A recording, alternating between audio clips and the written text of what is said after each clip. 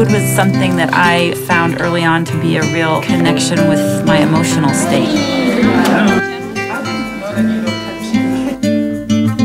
I love to cook, I love to eat. I have been always singing all my life. That's my first passion, but cooking is right after.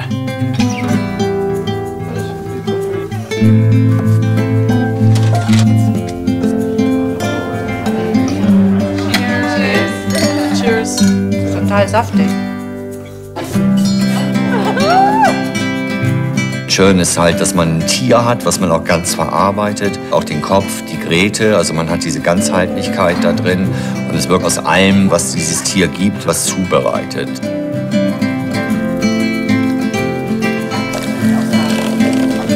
Du versuchst, diesen perfekten, natürlichen Geschmack von Omi in eine ganz, ganz hübsche, neue, moderne Form zu packen.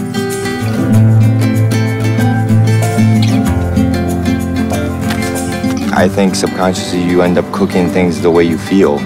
And it's the same thing with painting.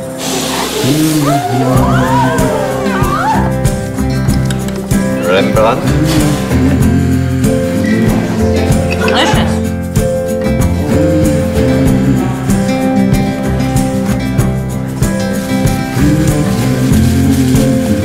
Mein Fleisch esse ich am liebsten von außen kross, ja, schon fast, äh, wenn man es dann aufschneidet, wenn ein bisschen rosafarbener Saft rausläuft, so esse ich es am liebsten.